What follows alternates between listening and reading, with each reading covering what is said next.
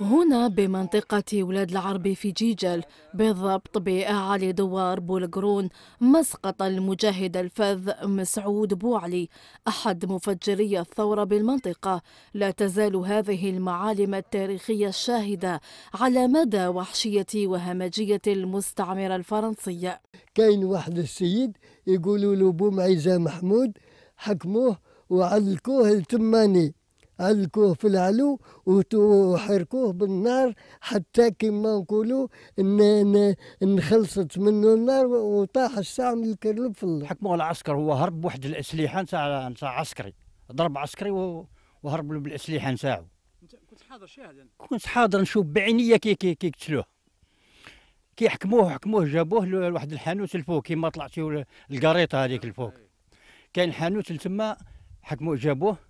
سمروا له يديه بالبروش بالمسمار هذاك الكبير. سمروه هكذا. والعسكر يتكيف الدخان هاك ويطفي له في عينيه حتى مات. مراكز للمراقبة والتعذيب الفرنسي.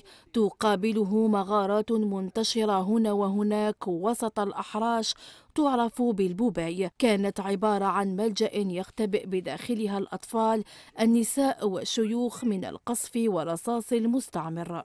هذه المغاره آه، كما يقولوا آه، تعاونوا للمجاهدين تاع المنطقة تاع دوار ولاد عربي بالضبط آه، منطقة بولكرون. مغاره يقولوا لها كما تاع بكري يقولوا مغاره بوباني. ها تعاونوا بها المجاهدين خدموها تعاونوا. من بعد داروها على أساس كي تجي الطيارة تاع فرنسا تاع العدو كي تجي باه تدير الآخر تلقى عليهم كما يقولوا تبومباردي يهربوا النساء والاولاد معالم تاريخية تبقى للأجيال تظهر مدى وحشية المستعمر الفرنسي الغاشم من جهة وتضحيات أبطال الجزائر عشية الاحتفال بذكرى أول نوفمبر المباركة.